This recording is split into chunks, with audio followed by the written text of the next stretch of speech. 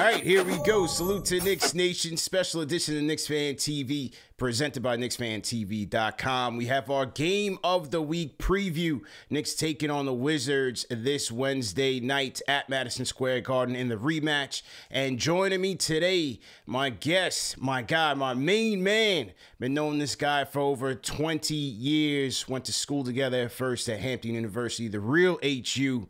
Uh, he's been covering the Washington sports scene, covering sports in general, and the creator of the American Fan 365. He's my guy, Josh Williams, aka Jay Will. Jay, how you feeling today, man? Man, I'm good, man. I'm I'm I'm delighted to be here, man. You know, you got your setup in the back. You see, I got my superimposed joint. I I'm in the kitchen. I don't, I don't have anything sexy right now. So, you know, we working to get there. But uh really, really happy to be here, bro, and want to talk to you about the Knicks. Yeah. You know, your beloved Knicks. A- absolutely, man. We, we come a long way from those uh, sports marketing, sports finance classes uh, yeah.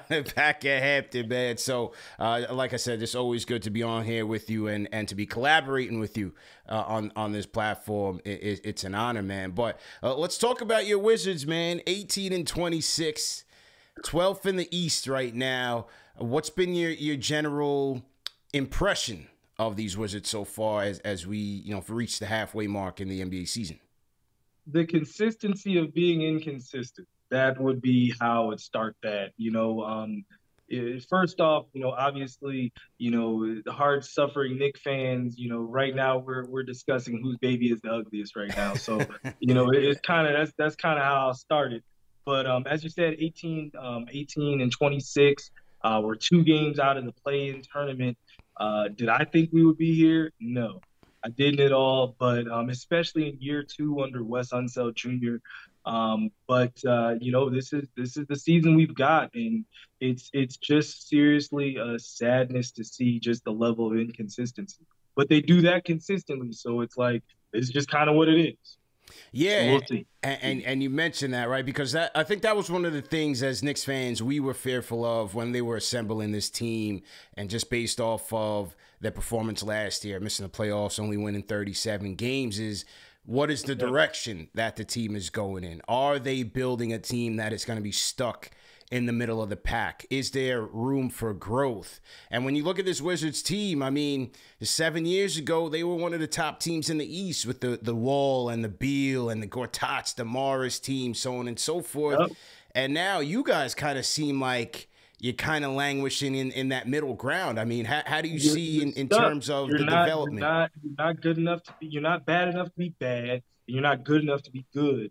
And um, it's it's frustrating um, you know, uh, but I mean, the main reason that it's frustrating, truthfully, is because they do have enough pieces. Like they have enough. They have literally, they have a team with three All Stars potentially. You know what I mean? If Beal plays at his level, which was, you know, top 10, top 15 in the league, he's being paid like he's top 10, top 15 in the league.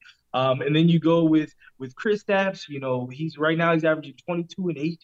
You know what I mean? Like for a big man in today's game, that's those are great numbers. You know, you can't argue against that. Then you say, you know, you go Kuzma, he's averaging 21 and 8. So it's like you've got three dudes that potentially, depending on how the team is performing, are all stars. So you got three all stars. You should be a solid team. Like you should at least be top tier in the in the you know in the conference for sure.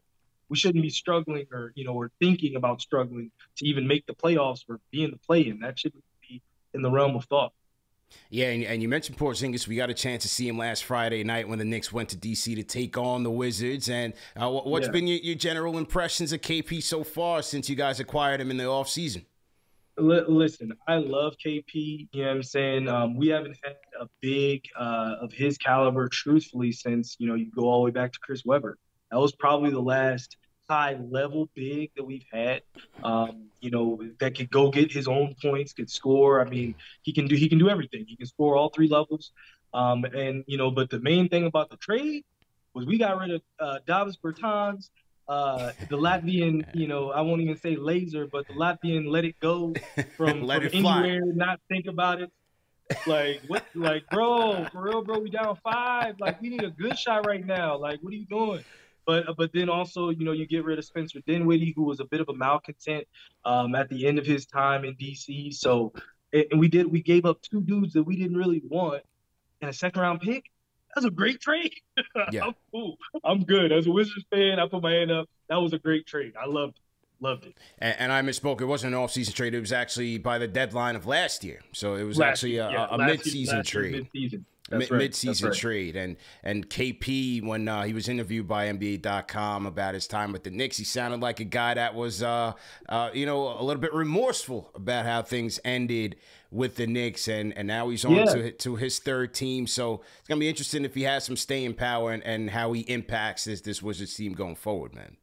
Yeah, I mean, I, I, you know, listen, you know, just for everyone to know a little bit more about my background, you know, my brother played on the Knicks. So I have Knicks love in my heart. That's right. Shout, shout out to Jer- Jerome Williams, for, former yeah, Knick, former Bull, play for number, the Junkyard Dog. I've, I've, had my moments at the Garden, both as a visitor and as you know, as as a family member. So, um, so I always will love the Knicks. You know what I mean? Um, but uh, but I loved Kristaps on the Knicks. You know what I mean? He was a unicorn. Legitimately, yeah. we had never seen anything like him before. Um, and you know, now when you start thinking about the French alien Victor and you know some of the other bigs that have kind of come down the line since Kristaps, we've seen new dudes that are similar or can do more. But at the time when you guys drafted him, you know, everybody booed Phil, but then he ended up looking legit. So, yeah. you know, so I, have always loved Kristaps. Absolutely. I mean, you know, injury concerns aside, I, I, was a big Porzingis guy, and as you said, you look at what Wembanyama is doing out there. Uh, Bol Bol coming on strong with the Magic. He's yeah. he's he's found new life yeah. there, and you know they're getting more and more skillful as they get taller. Man, it's it's incredible to see the evolution of the game, especially from from these international players. Uh, now, how about Kuzma? You know, Kuzma coming over from the Lakers. He, he he left LA and seems to have found new life with the Wizards. Man, twenty one and seven on the year, dropped forty on the Knicks in the first matchup. What's been your impressions of Kyle Kuzma so far? Uh, look, listen, I I love. I don't, um, you know, when he was on the Lakers, I felt like he pressed a lot because he didn't know his role his role was always ever changing. Like some games LeBron might need him to do more, some games LeBron might want him to chill. And it's like so he always was like kind of in like a stuck position where, you know, some games he's gonna be getting the ball and some games he's just gonna be out there floating. Um, on my team, um, he's really started to showcase what he can look like as a featured player. And as a featured player, I mean, listen, like I said, he's a borderline all star. He's not all star all the way, especially with a team that's you know miring in the muck. But um, you know, but he's he's proven to 20 points a game in the NBA, bro. I don't care who you are, you're getting buckets, and he's probably about the. I trust him the most to get buckets, if that if that's the, you know the best way to say it. I don't trust his jump shot all the time. He'd be taking some ill advice. Mm. But uh, but in terms of driving to the rack and those kinds of things, playmaking, he's he's very very proficient. I'll give him that. And now, you know, when you talk about obviously with the Wizards, you know, being in the bottoms of the league these last few years, they've been able to be at the top of the lottery or near there. And in, in recent years, you, have drafted uh, Deni Avdija from from Israel. You drafted Rui Hachimura from Gonzaga, Corey Kispert from Gonzaga, and most recently Johnny Davis out of Indiana, the Indiana Hoosiers. What's been your thoughts? Oh, you, you don't look so happy, man. What, what's your thoughts about this well, Wizards young core, right, man? Talk I'll say, I'll it, say this, right? So, so as far as Deni, right? Deni, yeah. um, Deni right now is our probably our one of our best, most proficient defenders. Um, you know, can guard, can guard wings, can guard guards at the top of the you know key, but he's six nine, so he can also bang in the post a little bit as well. Um, he gets in foul trouble sometimes, so that kind of takes away from his aggressiveness. But then he was top nine. He was top 10. He was the ninth pick of the 2020 draft. I didn't draft the person top nine, well, excuse me, top 10 to just be a defensive stopper. That, that, mm. it, like I would, because he was supposed to have a little bit more of a, a Euro game. Not, not Luka, of course, but like was supposed to have a little bit more playmaking in his bag and that kind of stuff. Um, but, you know, you look at that draft, he was drafted ahead of Tyrese Halliburton and Tyrese Maxey. Mm. Mm. So when you look at it under that lens, we haven't had a guard since John. So, you know what I mean? So it wasn't like somebody was in the way. Why didn't we go get a point guard? Those kinds of things. Um, you know, think about where this team would be right now if that if those picks were made. You know what I mean? Maybe yeah. not necessarily Tyrese Maxey because he's a little bit more of a, you know, a good bench glue guy, but he still can go get you some buckets. Like, so, you know, but then when you, you know, you go, you say Rui, um, Rui is one of the more inconsistent, consistent guys mm. where Rui can drop 30 and 10 one game and then drop three and three the next game, same amount of minutes. So it's like, what are you? You know what I mean? Like yeah. it's very hard to to pigeonhole Rui Hachimura. Um, but then Johnny Davis, I mean, he's the mysterious missing in action. He he gets an incomplete grade for me right now. Yeah. When you look at you know when you look at the the draft, who who who could we have drafted? Um, you know, for me, because because Johnny Davis was the tenth pick.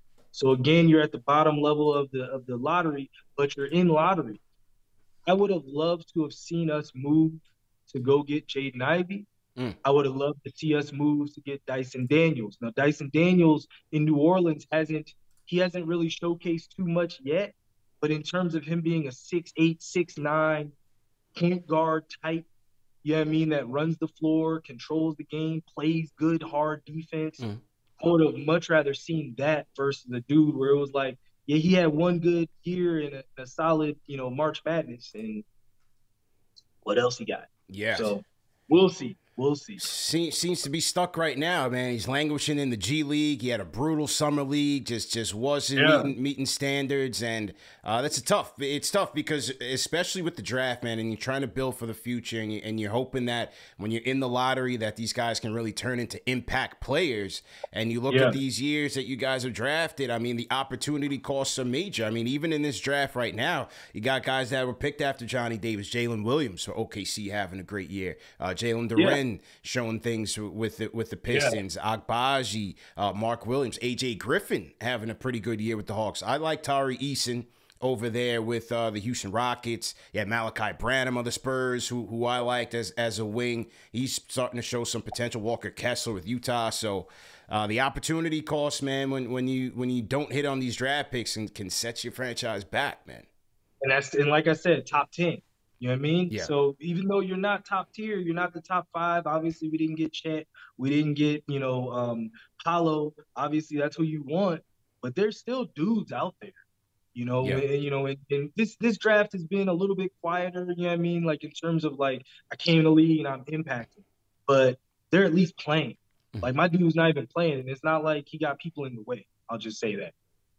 Yeah, and I think it's a, it's almost a similar situation with the Knicks. I think they've found value in picks later in the draft. When you look at Quickley, Quickley's yes. having a good year. Uh, Quentin Grimes has now been inserted into start lineup this year. He's been a, a tremendous impact to this team's overall defense and, and efficiency from three. Uh, but the top end pick with Randle playing well at, at an all star level, you have Obi getting, you know, sometimes single digit minutes off the bench. How impactful yeah. is he? You know, he was college basketball player of the year, a standout there at Dayton. They haven't really been able to tap into his potential as far as an asset to this team. So, and then prior to that, you had Kevin Knox, who's in he's in Detroit. He's trying to you know find his way, but not when when, when you think about opportunity cost. Shai Gilgeous-Alexander, Michael Porter Jr., Mikal Bridges, who who was an easy pick there. All, all of all of those players what would they have done in New York? You know what I mean? Right. Um, Ke- you know, and Kevin Knox, like we all wanted Kevin Knox to work, bro. Because what where was he picked? He was top ten. He uh Kevin, I think he was uh seven or eight.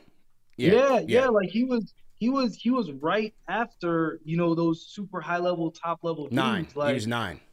He was nine. Yeah. So I mean, same thing. A top ten pick, man. Top ten. You supposed to. You're one of the first people to, to get up. Like yeah. you're supposed to be doing something. It's not supposed to be a wait and see. You know what I mean? You're, you're, you're, yeah. We we've already seen like you know what I mean. We've already seen what you can do. So it, it those guys should be coming in and, and getting their opportunities and, and grabbing those opportunities. So that's kind of my feeling on it. How about your coach, Wes Unseld Jr., man? Two years with the Wizards right now.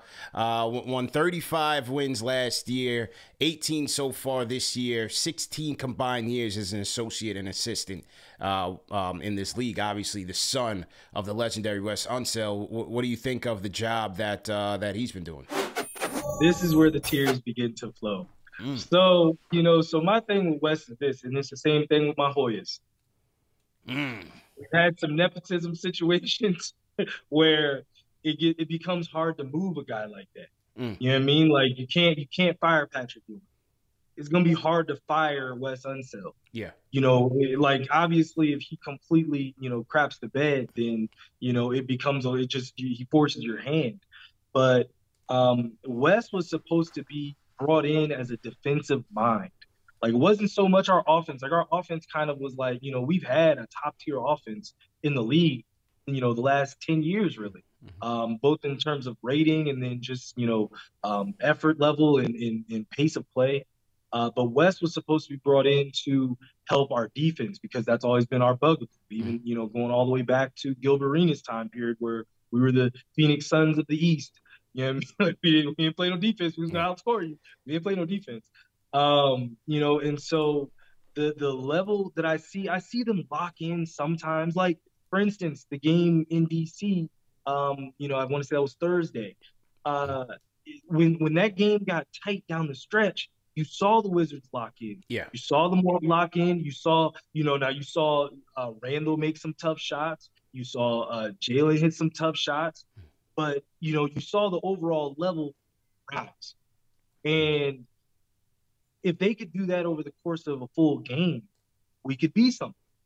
But you got to consistently do that. Like that has to be the calling card because you know you're going to get your opportunities on the other end. So, you know, for me with Wes, it really just comes down to, you know, pick a struggle, bro. Like we got to pick a lane one way or another. So that's my feeling on him. Absolutely. And we're talking to Josh Williams, owner and creator of the American Fan 365. He's also covered the Washington sports scene for a number of years as well. And as he said, the brother of former Knick Jerome Williams, aka the Junkyard Dog. And he talked about Georgetown too, man. I, I hate seeing my guy Patrick Ewing going out like that. And that, that was one of the reasons, bro, why I never wanted him to coach the Knicks. You know what I'm saying? Because okay. it's just it, because when things go bad, and they will go bad, you don't want that to tarnish his legacy even more. And then it becomes a harder thing, like you said, to fire him. It's looking yeah. it's looking ugly out there at Georgetown right now. You know, twenty something consecutive losses. It's bad. They they they've recruited well. You know yeah. what I mean? They recruited well. We're in a light Big East. Like it's not like the Big East got world beaters and right. everybody's afraid of the Big East. Yeah. You know what I mean? Like, man, yeah, that many losses in a row, you know, it's it's it's rough, bro. It's rough. With Jordan talking about taking our taking the sponsorship away, it's getting that rough. Oof. From, I'm, I'm, just playing. I'm just playing. Yeah. I don't know. I don't know. I was gonna say that that would be tough, know. man. That that don't that hold would, me, man. Don't hold. Me. Yeah. No, that that would be tough, man. So, in terms of like like you know, back to the Wizards now. In terms of like overall direction, you know, there's there's some fans now who are regretting this Bradley Beal extension. He's now the fifth highest player in the league. He's not playing as much. We'll see if he plays on Wednesday. He's, he's nearing a return. Uh, but with you yeah. guys 12th in the East and signing kind of in that middle of nowhere, where do you where do you want this team to go? Do you want them to continue to build around Beal, or do you think they should really start peeling this thing back? Well, I mean, look at it this way. Um, when you when one when you give a guy that kind of money, right? When you give a guy that kind of money, it becomes near impossible to move him. And if we do move him, um, not only I think I'm not sure if he has a no trade clause. He does. Even he does have no trade clause. Does, right? Yeah. I, thought, I yeah. thought he I thought he put that in there. Mm-hmm. So he has a no trade clause. That already means he can limit where he, he's going to go. Mm-hmm. But you know, even if we get other teams involved and all that kind of stuff, you know, when when uh, I when when you sent over, you know, kind of the topics and everything, and I thought about it, like, did I want Brad to be moved before? Um, we every every deal I ever saw never really got us better. You know what I mean? Like, mm-hmm. it wasn't like we got better. It wasn't like we really got worse. So it was like I'd much rather we already, you know, the way we already got rid of John, you know what I mean? Now in retrospect, that deal might have been a really good deal because it got us healthy under the cap because we were, you know, at luxury or above luxury for years. And so to trade John Wall for Russell Westbrook and then move him for pieces and really reset the team. It last year when we started out like a house on fire, it was like, oh my God, this deal was genius. Mm. But now we're kind of stuck again. And um, especially like you said, with Brad getting hurt a lot now, um, it makes it tough, but I just want Brad to go hoop, man. Like mm. quiet all the noise. If he's gonna, if he can go be a guy that can get us, you know, 30 a game again, 28 a game, we become a very dangerous team. He just has to do better in clutch moments. He's always been no clutch Gene Brad to be. So we'll see tricky situation, man. Obviously, a tricky situation, especially where you guys are in the East. But if he does come back on Wednesday, as we kind of segue into this game matchup, man, my matchup to watch is, no doubt Bradley Beal uh, against uh, the Knicks' second year guard and Quentin Grimes, man. Grimes, who's really been that jack of all trades for the Knicks, man. He, has been the guy who's taken on the tough matchups. He's, he's taken on the hardest assignments on the perimeter for the Knicks, no, no matter the size, whether it's a three or a two. He, he's taking on yeah. that assignment, and uh, then obviously on the offensive end, they need him for his three point shooting. Uh, what, what, do you think about that matchup, man? Beal and Grimes. Well, for me, it's more than likely going to be Monte Morris and Grimes. Uh, I, don't, I, don't, trust that Beal's going to be out there. Yeah. If it's Beal, I mean, if it's Beal, Brad don't play no defense. Brad locks in for about six minutes of game action on the defensive side of the ball usually. So, you know, now if Brad, you know, now in terms of Grimes matching up with, Beal on the defensive side of the ball and Beal's got the ball in his hands, um, it really just becomes, you know, like how Brad's feeling that day. You know what I mean? Like if he's getting good shots, he's got to hit them. You know what I mean? Um, but Quentin Grimes, he's he's he, like his last name is perfect for him. He's a grimy dude. Yeah. gritty. You know what I mean? Like he plays hard. Uh, and uh, you know he's really he's he's really grabbed a hold of his opportunity to uh, to get more game action and he's looked great. So um, it's it's not a great matchup for the Wizards by any stretch, mm. whether it's Monte or even uh, Bradley Beal. The thing I like about Grimes so much is number one is anticipation skills are on point. Yeah. Just like knowing where guys are going to go, getting to your spots before you do. He's an absolute pest even when you have the size matchup or the height matchup over him, he's going to make it tough. Every shot that you take is going to be tough. You know, the way that he navigates screens, it, it's it's yeah. incredible. He never stops hustling, man. Never stops hustling. He, he, he's going to make you work. And, yeah. you know, listen, if you're going to go get 30, I want it to be an ugly 30.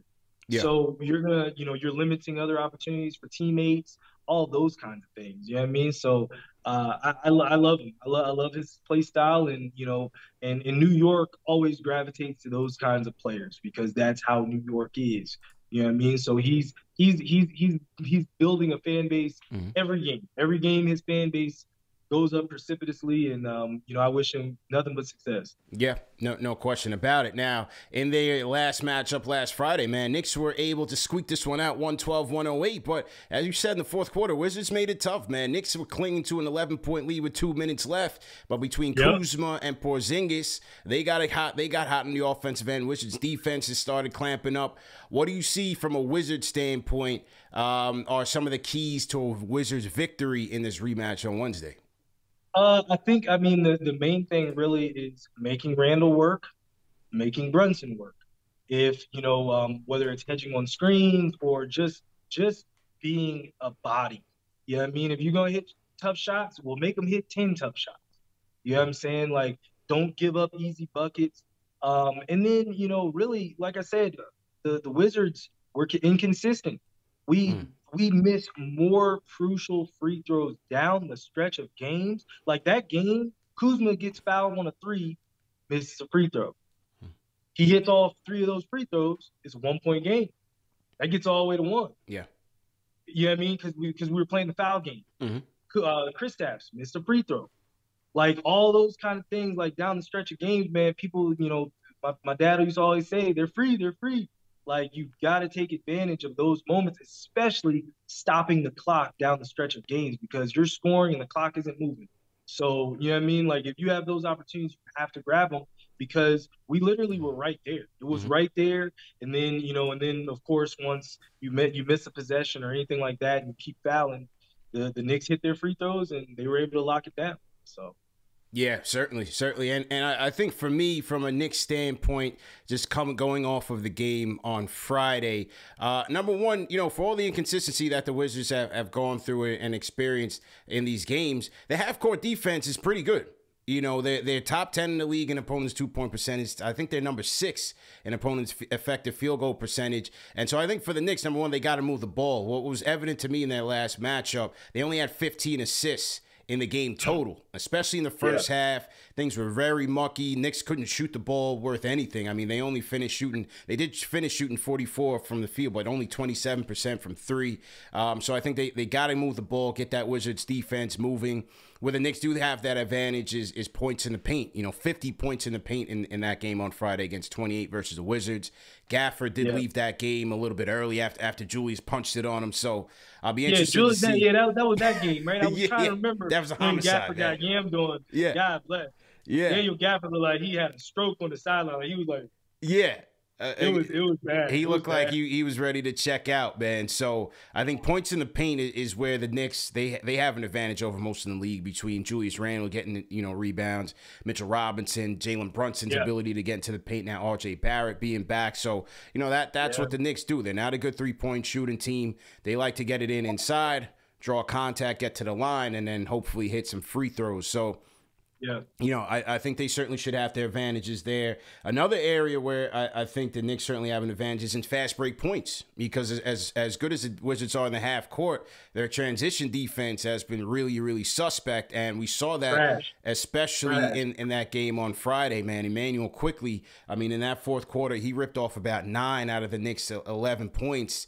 Uh, and a lot of that was in transition. RJ, Jalen Brunson. You know, Knicks get out and run, and they were able to catch the, the Wizards off balance and, and, really get some easy points um, in transition.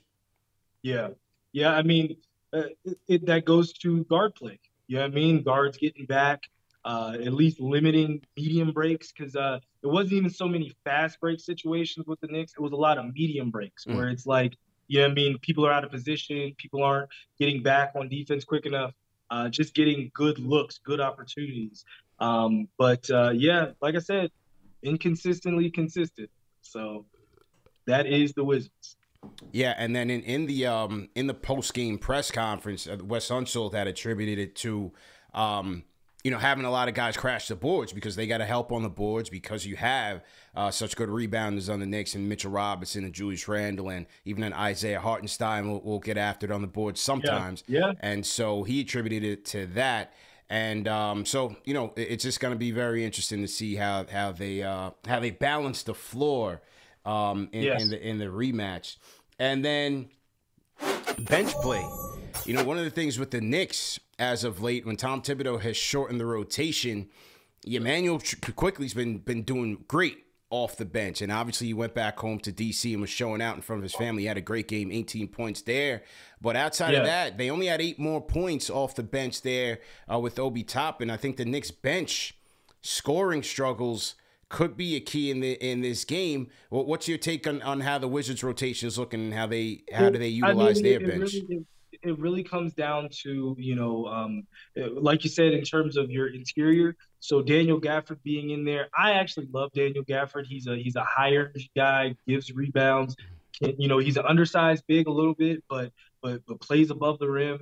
Um, you know, but then when you start talking Rui and mm-hmm. And those guys, um, they don't always give a lot of scoring punch, but if they can if they can hold down the other team, you know, whether, whether that's, starters, starters or the other, bench, guys, guys, um, it does it does play in our hands because know, our guys actually, actually, you know, you know, they actually do their job a lot of times. Yeah. So, so we'll see. Yeah, and then you know the way this thing can come down, like if if the Wizards are, are able to maintain their, their defensive effort on the on the half court, yeah, it's coming down to the fourth quarter, man, because the Knicks have been one of the worst fourth quarter teams in the league, minus 15 in points differential. The Wizards, on the other hand, are plus 26 in the fourth quarter. I think this game, as we saw on Friday night, this game, if the Knicks are not hitting their threes and you yeah. know you're not having a, a you know crazy game by either Brand or Runson, I, I think this game could still come down to that to the fourth quarter, man. Well, well, CP Casey, why do you think we have such a good overall, you know, plus minus in the fourth quarter? What What do you think? Well, for one, you you got Kuzma going off, you got Porzingis cooking. I mean, no. What's, your take? Because we lose it, KC. you playing catch up. We, we got look, we we go to the fourth quarter down 15, baby. Like we out here making miracles. We out making lemon down lemonade. Like so, so yeah, that's that's the reason why our rating is so good in the fourth. Because like they do this to me every time. They they'll cover the spread. Don't worry, we will cover the spread. Yeah. But uh, but when it comes down to it, it's, it's quarters one through three where it was trash, and I was watching a, a forty point first, and we trying to figure right. out how to how to break this point back down the rest of the way. Like, yeah, it's it's a struggle. It's yeah, a struggle. it makes sense, man. It's it's it's a frantic push to make this thing respectable. And as I said, Knicks had an eleven point lead um, with two minutes to go in the fourth, and and yeah, yeah. still took some heroics to close it off, one twelve to one hundred oh eight, and then they will see each other again Wednesday night at the Garden, man. Knicks four and a half point favorites in this game, man. Give, give me a score prediction. I think it'll be I think it'll be high scoring because we don't play no damn defense. I think I think it'll be 122, 116 New York Knicks. All right. I, I think the Wizards will cover, but I, I picked the Knicks to win. I'm going 115 to 111 I think okay. get the job done. Another cardiac Knick affair, as we call it here in New York. Another fourth quarter where you're sweating it out after you've been up by 15, 17 in the first three quarters. Uh, yeah, it's one of those matchups. And then you know, if Beal comes back, let, us see how how that works, man. Let's yeah, yeah. I mean, you know, because uh, RJ RJ didn't play in that first game either. That the game on Thursday, he, right? He, he wasn't. He was cooking him. Yeah. RJ playing Kuzma was eating his food. Oh, oh was he? I didn't. I, I caught the I caught basically middle of the third on, and I didn't see RJ out there. So that he might he just might have been a little bit quiet that night. Yeah, okay. it wasn't a good night Fair for him offensively, and then Kuzma was was really eating his food, man. So you know that that is also well, one of the matchups to watch is, that RJ. Yeah, yeah, no, that is deal. That, um, that a thousand percent is. Yeah, defensively, he just hasn't been that strong this year. So we'll see how things play out. And if if Bradley Beal comes back, he gets you big three there it, it could be a, a much uh m- much closer game, man. Uh, once again, we're talking to Josh Williams, owner and creator of the American Fan 365. Also has covered the Washington sports scene for a number of years, man. Uh, Jay, tell the people about the American Fan 365, man. What was the uh the genesis of the yeah. American Fan, and, and and what are you hoping to accomplish over these next few years? Well, so so the American fan, honestly, I started it. Uh, I came up with the concept even before I came up with uh, my Ball Stars brand, where I work with retired NBA players. I came up with it in 2012. Um, you know, I kind of moved out of sports. You know, I worked at the NBA. I, ran the marketing department at the Basketball Hall of Fame. I actually worked. I was an intern with the Wizards uh, when Casey and I were uh, were in college, and um, you know, and so the concept of the show initially was um, really Anthony Bourdain meets sports. Mm. I wanted to meet sports fans because, you know, I'm a sports fan, huge sports fan of all my teams. Um, but I wanted to hear fan stories. I wanted to, you know, kind of get to the root of why we, you know, slave and cry over the Knicks, hmm. over the Wizards, um, you know, teams that haven't won. You know, frankly, like you, you know, you're not a bandwagon fan if you're a Cleveland Browns fan. There ain't no bandwagon for the Browns.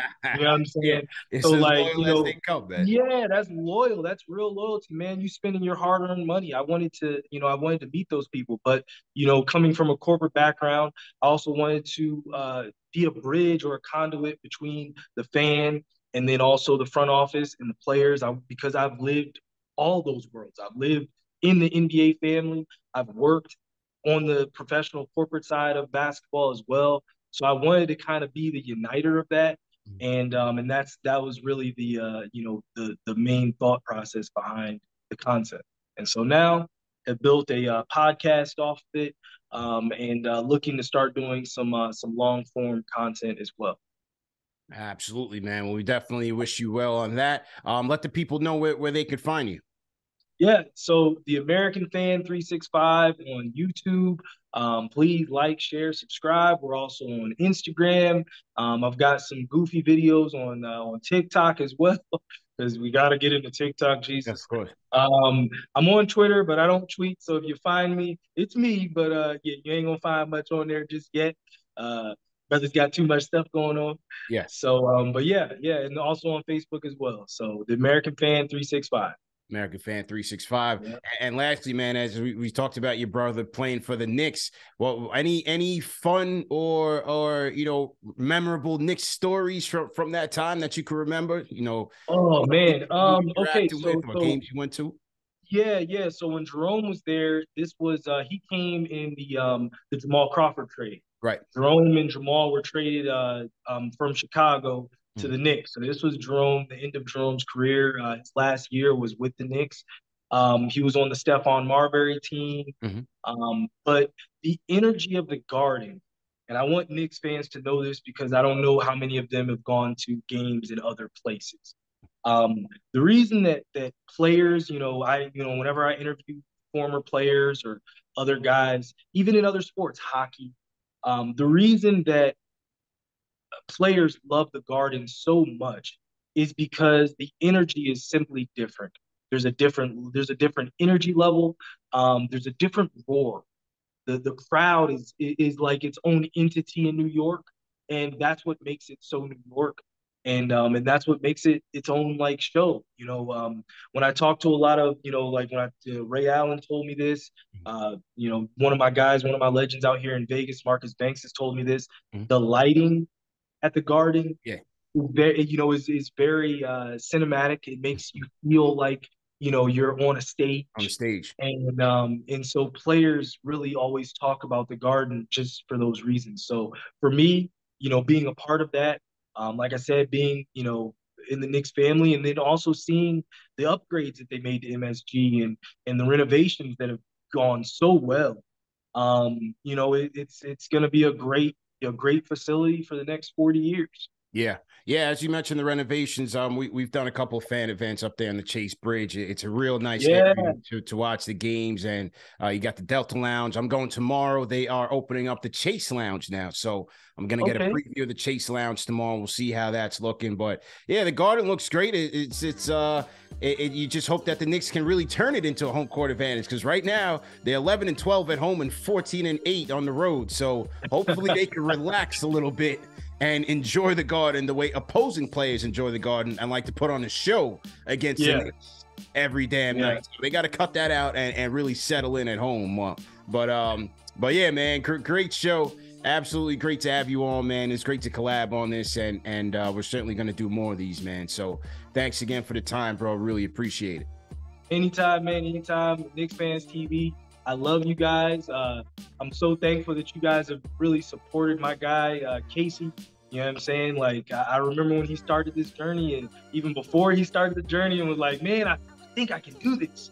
And, you know, when I told him, I was like, you know, listen, you're different because you have to understand Knick fans are like no other fan in this country. And and I, I felt like he could do it. And not only did he surpass what I thought he could do, but I think he might even surpass what he could he thought he could do. And um, you know, I'm, I'm so thankful for each of, of you guys supporting him because he's living his dream. So I, I love it. Appreciate you, man. Josh Williams, the creator of the American Fan 365, man. Make sure you guys go check him out. Jay, good luck to the Wizards on Wednesday night, and uh, and we'll chop it up again soon, man. Yes, sir, brother. I'll take you. I'll talk to you. Take care. All right, take care.